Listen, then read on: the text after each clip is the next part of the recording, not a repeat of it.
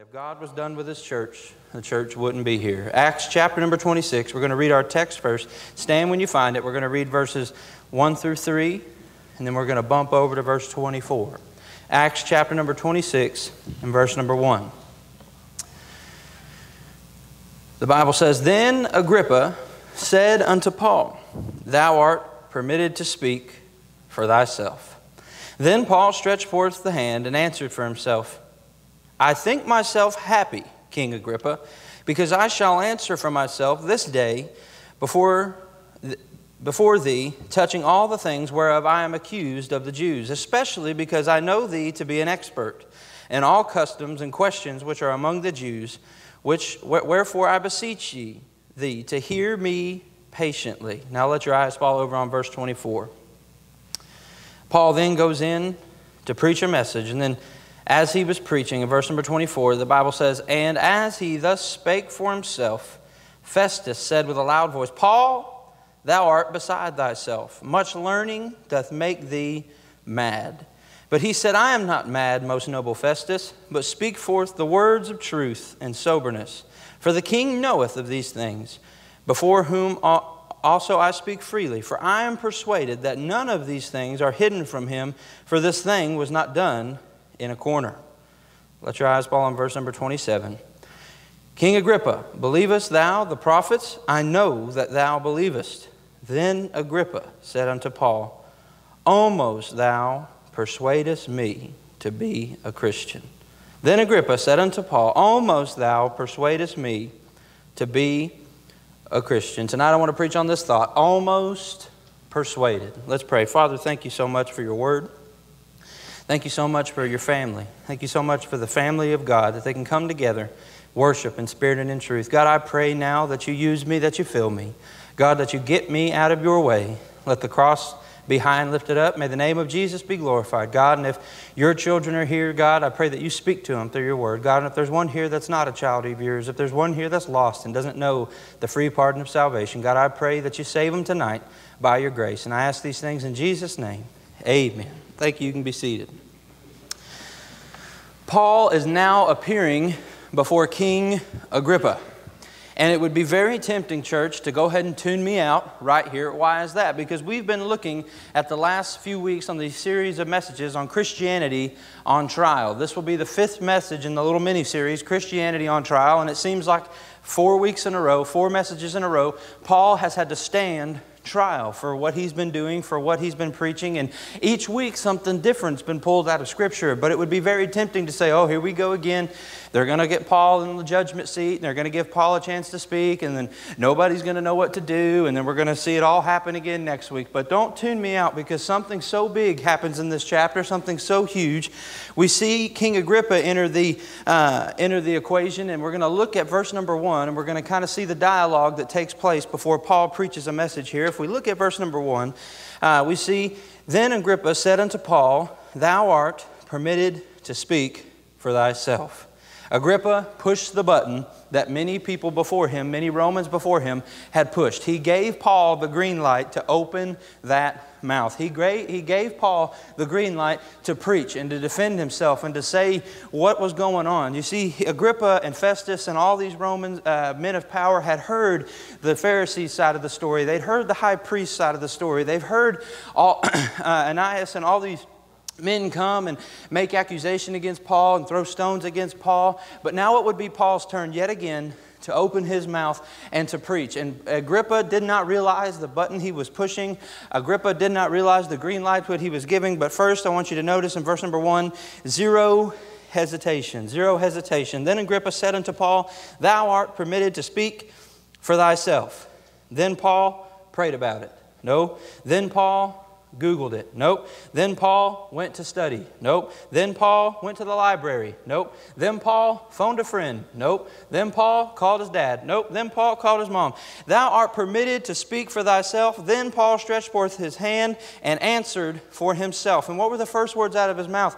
Zero hesitation here. Agrippa said, Speak. Paul spoke. Agrippa said, You can speak for thyself. Paul did not hesitate. And Christian, tonight, if given the opportunity to stand for your Lord and Savior, and stand for what you believe in. We must not be hesitant. We, uh, so many times Christians get a platform and Christians get an opportunity and Christians get called by God to accomplish a mission or to go do work for the Lord.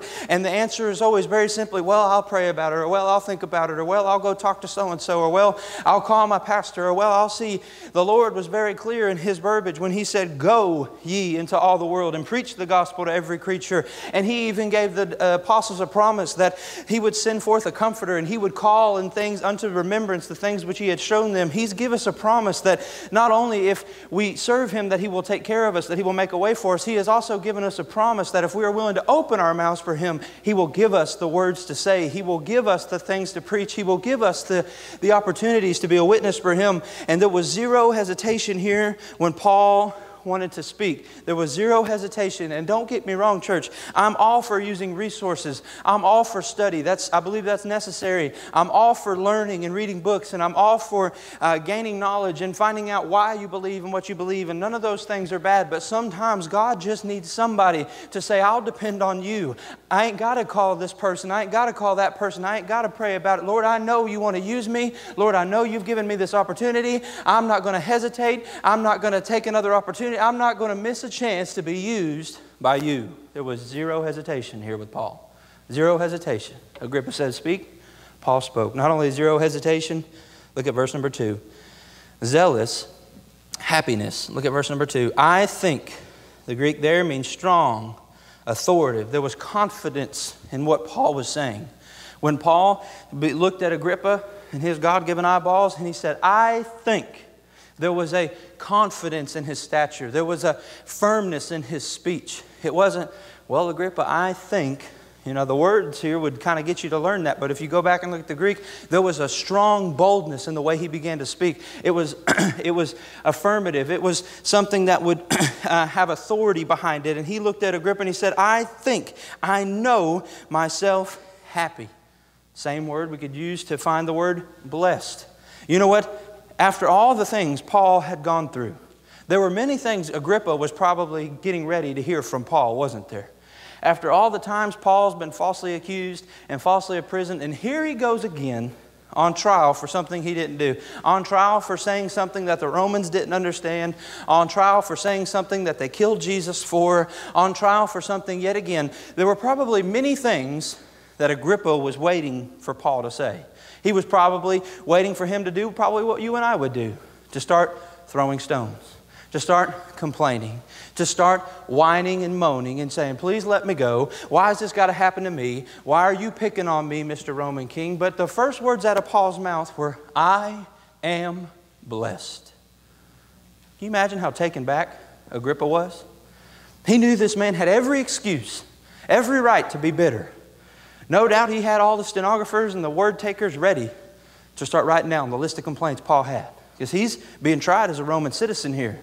This King Agrippa would have had to make sure that he was doing his due diligence. But here we have Paul with his opening statement I'm blessed. How many times have you ever heard that out of a defense attorney's mouth? Judge, jury, ladies and gentlemen, my client just wants to come forth today and just declare that he is blessed. When have you ever heard that on Judge Judy? Hmm? Never. Never. But that's what we see here in the courtroom of Paul and Christianity on trial. The first words out of his mouth were zealous, happiness. I think myself happy. I am blessed. I am empowered. I am a child of the King. I am saved. I'm going to heaven. I have eternal life. When you get to this point where you feel like the world's just picking on you and the world's just got it out for you and you're given the opportunity to stand and you're given the opportunity to speak, don't be one of them spineless little Christians that just complains about everything and the spineless little Christians that just moans about everything and the whole world's against you and nothing's your fault. Everything. I am blessed. You woke up this morning, you're blessed. You woke up in the United States of America this morning, you're blessed. You're blessed. I was talking with my grandmother today at lunch, and she was telling me a story about an extended family member, and he's having to uh, get in an ambulance because he keeps having heart attacks and strokes. He's a, he's a saved child of God. He wants to go home. He wants to go home. He's in his 90s, but he, he keeps having these strokes and these heart attacks, and he keeps having to get these ambulance rides. And he's having to get taken, and they keep taking him to a hospital he doesn't want to go to. He wants to, and it's a long, drawn out story. But the moral of the story is I said, well, at least he can call a number and be in a hospital. She said, what do you mean? And I said, an ambulance in the United States of America is more readily equipped and monetarily equipped and medically equipped than an entire hospital where I've been in Nicaragua. One ambulance has more equipment, more life saving technology, more life saving resources than hospitals in other parts of the country. Don't be the one, don't be the child of God that will wake up on your not soft enough pillow, drink your not hot enough coffee, go in your not nice enough car, arrive to your not good enough job, and complain about all that God has given you. Paul, in this moment, in this time, when given the opportunity, he opens with the words, I am blessed. We can't miss that, church. Zealous happiness. Zealous happiness. Not just zero hesitation, zealous happiness, but zooming homiletics, preaching. Look at verse number three. Especially because I know thee to be expert in all, quest- in all customs and questions which are among the Jews. Wherefore I beseech thee, I need you to hear me patiently. Paul, once again, took full advantage. He said, King Agrippa, I'm blessed, but not only because of how good God's been to me, but because of how God's been good to you. To give you one more opportunity, King Agrippa, to hear this message. Because you know the manners and the customs of the Jews, Agrippa, and you know why I'm blessed. And you know, and we're going to get to why I knew here in a little bit later, but you know what's going on here. And you know that you woke up this morning too, King Agrippa, and you know you have a reason to be blessed, King Agrippa, and you know that there's something that I'm about to tell you that you've heard before, maybe secondhand, maybe through the grapevine, but you know that there's some good news that I'm about to proclaim to you. And we have to notice and we have to understand that from verse 3 to verse 23, Paul preaches a message. Paul preaches a message. He begins to expound, he begins to exhort. What does he not do? He does not throw stones, he does not use foul language or call names. He did not testify of the works of the Pharisees. He did not get up and start to list all their faults and all their failures. No, here we go again. Paul gets the opportunity to preach. And he's in a court of law. He's in a Roman sentencing. He's in a Roman hearing before the king over this province. And he doesn't take this opportunity to defend him. He doesn't take this opportunity to attack them. He takes this opportunity, he clears himself off a spot to proclaim how great the God of heaven is. And if you'll look at verses 3, verse 23 on your own time and just really dive into, once again, he's taking the time to explain and to expound not great theological knowledge, not in depth, crazy, out there ways of thinking. He's not trying to outsmart the Romans here. He's not trying to outsmart the Pharisees here. He's simply repeating his own testimony. His own testimony. Listen up, all of us Facebook warriors and all of us social media warriors, and all of us Fox News correspondents and CNN correspondents, and all of us who now in 2020 have become political analysts and have become uh, these data collectors and have become doctors over coronavirus and all the things that we wish we knew. Paul has something so big to teach us here. When given this platform, when given this opportunity to defend himself, he did not waste time in the world's wisdom. He did not waste time in the arguments of men and the arguments of wisdom. He simply began to once again declare declare his testimony about the day God found him, about the day God saved him, about how God had kept him through all these years of ministry, about God, how God had called him to do great and mighty things, and how Paul was not slack concerning the promises of God, and how Paul was not slack to obey the calling of God. And he simply finished with the thoughts of, I have obeyed my Lord and my Savior in preaching the gospel unto this day. Can you say that? Can you say that? I know I can't. I can't say I haven't gotten in the flesh and fought fire with fire. When they throw this accusation at Christ, I want to throw this accusation at them. Don't we get that way? I know I have. When they have their deductive reasoning and their stance and their thoughts, sometimes we want to get in our reasoning and our stance and our thoughts. God never called you to do that, did He? He never called me to do that. He did not call us to attack sinners, He died for sinners. He did not call us to fight with the lost. He died for the lost. He did not call us to be mean to people, He called us to love people. But you don't understand what they're doing, preacher. You don't understand what they're saying, preacher. You don't understand. When He was on the cross, they were on His mind. When He hung on that cross and bled for you and me, He was bleeding for them too. Are you loving them? Are you telling the love of Jesus? Now, the big, the big question is did it work? Paul gives us, from verse 3 to 23, a great message, a great personal testimony, a great truth, a great presentation of the gospel. Did it work? Well, we have to understand, first of all, that it wasn't up to Paul if it worked or not. Paul knew, as we know, we are called to preach the gospel, to teach all nations, to be a witness unto every creature. We are not responsible, we cannot be responsible for the supernatural harvest. We cannot be responsible for what the seed does once it's planted. He takes care of that, doesn't he? He adds the conviction. The Holy Ghost adds the drawing power. And it is up to the free will of God's created child to decide whether or not, if they accept it or not. But here we would have something very big, some very scary words uttered by King Agrippa. I want your eyes to fall back on verse number 24. And as he thus spake for himself, Festus interrupted. Festus said with a loud voice, Paul, thou art beside thyself. Much learning doth make thee mad. All right? But the gospel is to them that perish foolishness. Is what we're seeing live and in action. But he said, I am not mad. Notice how respectful he is here, most noble Festus. But speak forth the words of truth and soberness. For the king knoweth of these things, before whom also I speak freely. For I am persuaded that none of these things are hidden from him, for this thing was not done in a corner. King Agrippa, he calls him by name, believest thou the prophets? I know that thou believest. Then Agrippa said unto Paul, Almost thou persuadest me to be a Christian. Do you realize those are the scariest words we've read in the book of Acts? All the other times the gospel's been presented, we've seen acceptors of the gospel and we've seen rejectors of the gospel. But here we'd find Agrippa on very dangerous ground. This ground of almost. This ground of, I hear what you're saying, but I'm just not quite, I'm not there. Did you know there is no almost with God? Did you know that there is no almost saved? Did you know that there is no almost persuaded?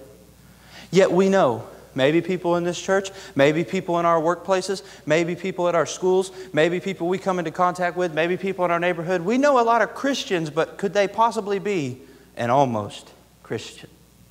Could you possibly be an almost Christian? You've checked all the right boxes. I know I'm preaching to the church on Sunday night. This is what God told me to preach. You've checked all the right boxes. You've come to all the right things. You've wore all the right clothes according to your peers, according to your brethren, according to your family. And you might be guilty of being like Agrippa and being almost persuaded. If you hear nothing else I say for the rest of the night, almost will not cut it with God. It'll cut it with me. You can fool me. You can fool the church. You can fool the fellowship. You can fool your family. You can fool your mama. You can fool your daddy. You fool your brother. Fool your sister. Fool your kids, but you can't fool him. Almost Christians. How did King Agrippa wind up being an almost Christian? That's what we're going to look at tonight. Because I just don't want to beat people up over the head. I want to show them. I want to help them. I want to show you how you might identify some almost Christians out there. And I don't want you to identify them so you can go tell them they're going to hell. No, I want you to, oh, I want you to identify them so you can begin to pray for them. So you can begin to be an effective witness to that person. So you can begin to explain to them why it is like Paul did, your personal testimony and how you know you're going to heaven and how you know you got saved and how you know your Lord and Savior. It is important for us to understand that if we have friends and family members that we're inviting to church because we know that they'll be okay in church or they may like church or they may like enjoying church or coming to church, but we have to look deeper than that. As children of the King, we have to understand are they saved or are they not? We can't be satisfied with almost because you won't be able to talk and real Christian out of service. You won't be able to argue. That they'll be so on fire for God. They'll have such a heart and a zeal for souls. Everybody's called to do different things and serve in different capacities and different avenues, but a Christian wants to be like Christ. An almost Christian just wants to fill the part, just wants to check the box. So tonight, almost Christians, number one, they discount the Bible. Look at verse number 27. King Agrippa, believest thou the prophets? I know that thou believest. King Agrippa, believest thou the prophets? Greek word here for prophets is the word that translates as inspired speakers. Inspired by who? God. For all scripture is given by inspiration of God and is profitable. And we know that the question Paul was posing here to King Agrippa, who had an understanding of the book of the laws and had an understanding of the prophets and had an understanding of Jewish manners and customs. How did he know? We'll get to that in just a second. But he had an understanding of these things. He said, Do you believe the book? Do you believe what the prophets have said about Jesus? Because if you know that the prophets said it thousands of years ago, and I'm saying it now, and I didn't know them, and they didn't know me, that there's no way this could be true unless God is real, unless the gospel is real, unless the book is real. Number one, it was a prophetical book. 6,000 years of authorship, 66 books, 783,137 words, 40 authors, 31,102 verses, 40 generations, and every single page proclaims Jesus Christ. It's a prophetical book. It's a book that they've been trying for 2,020 years since its completion to discredit. Scholars from all over the world have put their intellects and have put their educations to the test, trying their hardest to discredit that Bible. Because they know if they can discredit the Word of God, one jot, one tittle, if they can discredit one sequence of Scripture, the rest of it we would have to accept as null and void because God says His Word is perfect. God says there is no error in His Word. God said it was inspired by Him, and if there was a mistake in them, it would be to admit that God made a mistake. But it's a prophetical book. God gave men utterance. God moved men by His Word and by His Holy Spirit to write the things that He would have them to write hundreds of years before these events would happen, hundreds of years before Christ would be born, hundreds of years before these messianic prophecies would be fulfilled. These men began to write. Daniel began to write. Jeremiah began to write. Isaiah began to write. There is absolutely no way they could have done that unless God is real. King Agrippa, you've heard this before. Don't you believe the prophets? King Agrippa, you know what I'm saying is the truth. You know they said it hundreds of years ago. Do you believe your Bible? It's a prophetical book. Prophetical book, but it's a powerful book. Raise your hand. And I really want you to raise your hand. If you were saved, oh, sorry, there's a question following. Brother Dan's so obedient. If you came to know Christ because you heard one verse of Scripture, whether by preaching, whether by gospel tract, whether by a witness, you heard one verse of Scripture. I did. I was in a home Bible study with that family right up there. One verse of Scripture changed my life, introduced me to the Savior, introduced me to the King of Kings and the Lord of Lords. One chapter in the book of Proverbs, one verse in the book of Proverbs. I was eight years old. Do I remember exactly what it said? Heavens, no. But it was enough. It was enough to get me questioning, to get me wondering, to get me searching, and the Holy Spirit was right there drawing. It's a powerful book. It can change, one verse can change lives.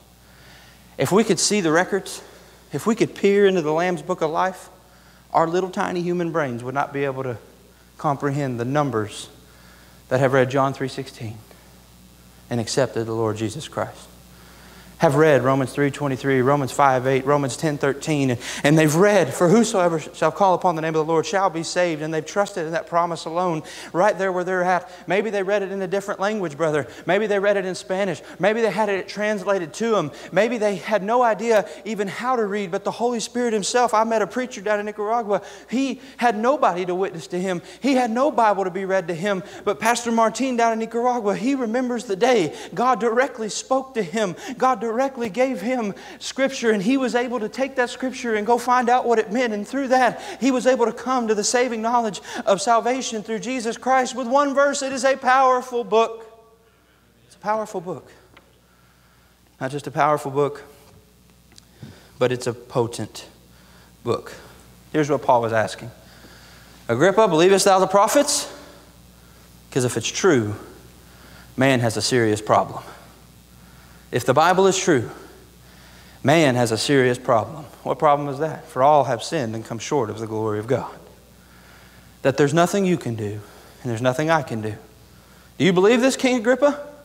Do you believe this? Fill your name in here. Do you believe your Bible? You see, almost Christians, they have to discount the Bible. They have to say, well, you know, God, I'm sure God had good intentions, but man wrote it and man makes all kinds of mistakes, so I just don't believe it. I'm going to discredit it altogether. Or they say, well, you know, there's just so many things that could have got lost in translation, and there's just so many things that could have got lost, and there's just so much. What, what, what, if, what if this was all just a conspiracy theory and we got a page of it and we've made so. Friend, friend, friend, millions of dollars, millions of points on the IQ scale have went in to try to discredit this book and they can't do it. It's a potent book. It's true. And that means we have a problem that Jesus had to solve. And that's what Agrippa was coming to face to face with. You see, almost Christians, they get face to face with accepting the Bible is real and that it's true, or they have to discount it. They can't prove it's not true, they can't prove it's not real. They just have to almost pretend like it's not even there. We've got a coworker, Jacob and I, that he always likes to argue. He's an agnostic. He doesn't believe in the Christian story of salvation. And Jacob says, Well, why? He says this and this. Why don't you argue with him? I said, Jacob, if a lost person doesn't believe, which they won't, that the Word of God is the Word of God, then I cannot take my arguments and give him truth out of the Word of God because he doesn't believe it's the Word of God. That's the first step that they have to discount is their Bible. Jesus said this kind comes by prayer and fasting. The Holy Spirit's got to work on that man. All I can do is be Christ to him. Show him the love of Christ. Show him the grace of God. Tell him I'm praying for him. Be consistent in his life. Almost Christians discount the Bible. Number two, almost Christians disgrace their birthright. Look at verse 26. For the king knoweth of these things before whom I also speak freely. For I am persuaded that none of these things are hidden from him. For this thing was not done in a corner. What's Paul talking about here? Flip back over to Acts chapter number 12 and verse number 20. Acts chapter 12 and verse number 20. Who's Paul talking to? King who? Agrippa, right? King Agrippa. And he's talking to him in Acts 26. But we'll find over in Acts chapter number 12, in verse number 20. And we're going to read about King Herod. How many of you remember the day that Herod came in and he killed James, the brother of John, and he took Peter and he arrested him? He bound him in chains and cast him into prison. Y'all remember that message? And we remember that the church got on their knees and prayed, and Peter was freed from prison by an angel of the Lord, and he came back to the church. And next we find King Herod, the same man that persecuted the church here in verse number 20. And the Bible says, And Herod was highly displeased with them in Tyre of Sidon. But they came with one accord to him, and having made Blastus, the king's chamberlain, their friend, desired peace because their country was nourished by the king's country. And upon a set day, Herod, arrayed in royal apparel, sat upon his throne and made oration to them. And the people gave a shout, saying, It is the voice of a God and not of a man. And immediately the angel of the Lord smote him because he gave not God the glory, and he was eaten of worms and gave up the ghost. Now, who is this? King Herod, right? Chapter 12. Who are we talking about in Acts 26? King Agrippa. King Herod in Acts chapter 12, best I can tell through historical study and biblical study, was King Herod Agrippa the first that was eaten of worms here in Acts chapter 12.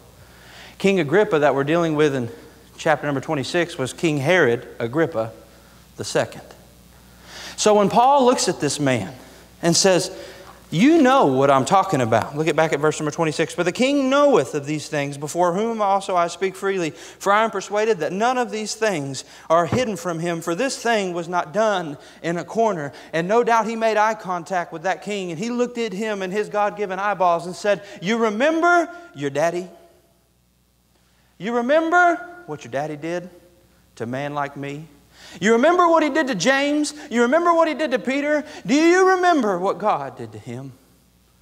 No doubt, fear probably shot through Agrippa at this time. Convicting power probably shot right through him. His daddy chose the route of sin. His daddy chose the route of fame and power and men's praise. And here Agrippa is, fulfilling his daddy's very footsteps as the next king in line.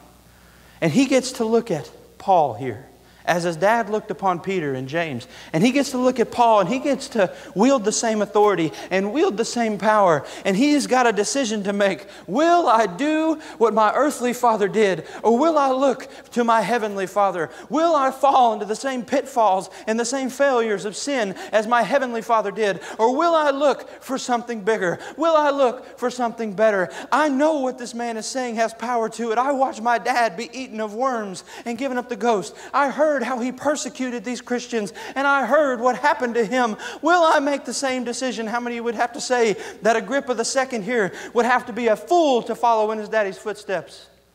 I would.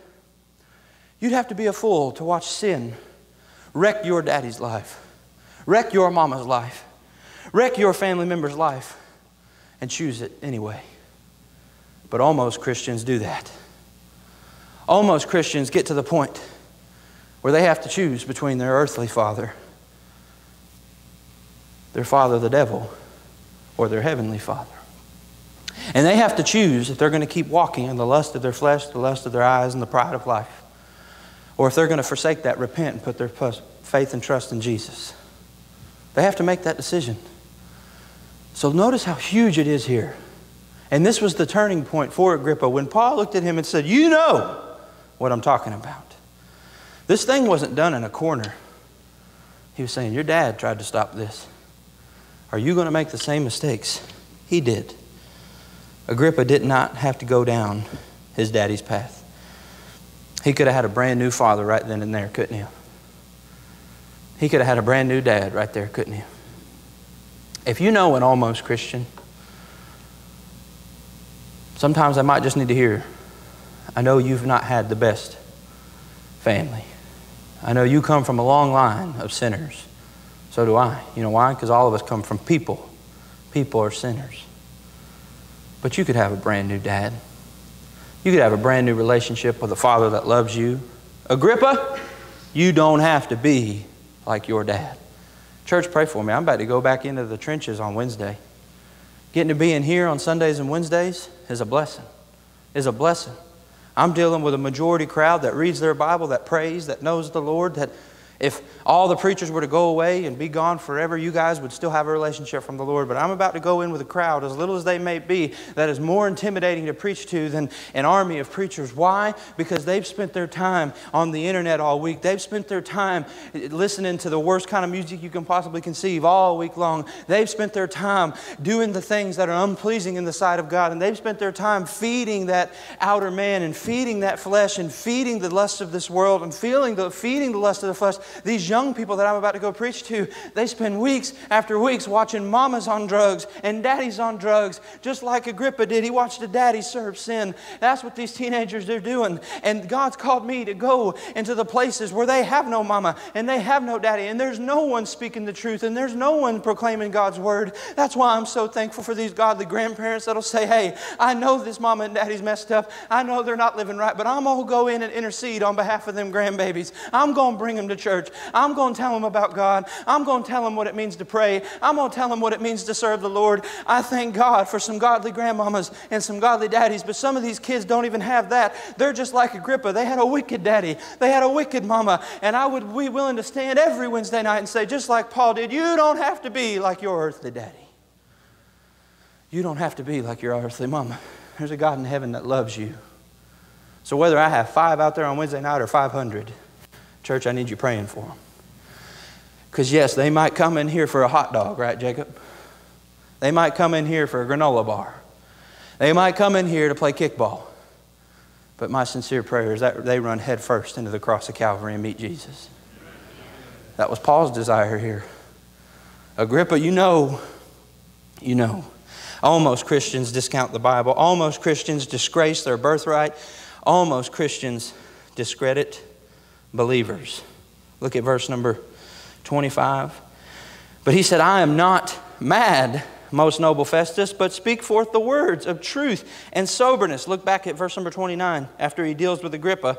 And Paul said, I would to God that not only thou, but also all that hear me this day were both almost and altogether such as I am, except these bonds. You know what Paul was saying? I wish everybody that could hear my voice could have what I have. I don't want to hold it, I don't want to harbor it, I don't want to hog it. I want everybody to know Jesus. I want everybody to know Jesus. You see, but almost Christians, they can get away with discounting the Bible now in 2020 because there's just so much muck and so much mud and so much philosophy and so much wisdom out there. They can just kind of lump it all in.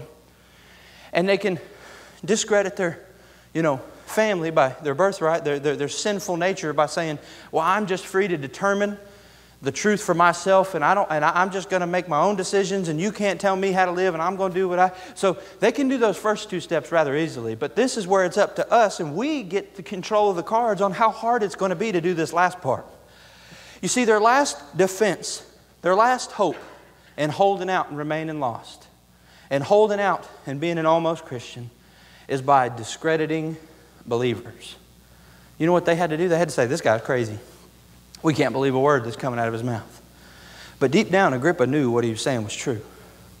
And when your coworker, when your son, when your daughter, when your husband, when your wife sees you and the consistency in your life, and sees the consistency in your prayer life, and sees the consistency in your Bible study, and sees the consistency in your walk with Christ, they cannot discredit it. They cannot whisk it away. You see, the believer proves the blood. The believer proves that the blood of Calvary can change and save to the uttermost. You show me a man that was wretched at one point but meets Jesus head on and is washed by the blood, I'll show you a brand new man. The world cannot explain that. The world has no answer for that. But you see, a believer that is washed in the blood has more power, has more light. That's why in Jesus' Sermon on the Mount, he said, Be a light, be salt. It's up to you. I leave you here. I go to prepare a place for you. But until I come, be about my Father's business. Go and preach and teach all nations. It is up to you. I'll be with you whithersoever thou goest. I'll give you the power. I'll give you the words to say. I'll give you the opportunity. But look how the, much the power, the, how much power the believer has. The, the believer proves the blood, the believer provides boldness, and the believer provokes the bitterness. You know what'll change a sinner's heart towards God faster than anything? Is a Christian loving on them. Is a Christian that has every right to be mad or bitter at that person, but instead they just come and wrap their arms around and say, hey, just want you to know I'm here for you. I love you. I'm praying for you. That's how much power a believer has. That's how much power the boldness of a believer has. Church, as Miss Joy comes, you don't have to settle for almost. Agrippa settled for almost. He got his brethren, his Roman brethren up there together, and they said, This man's not guilty of anything, but I guess we'll send him to Caesar. That's where he wants to go. They discredited him. They said, I was almost persuaded. I almost bought it. But here's what they were really saying I reject it. I don't want it. But, church, the Lord's put it on my heart tonight that there's some saved children of the King in this room, without a shadow of a doubt. But I would say in a crowd this size, there's very, very good chance that while you're saved, you're going to heaven, your sins are forgiven. You're not 100% sold out.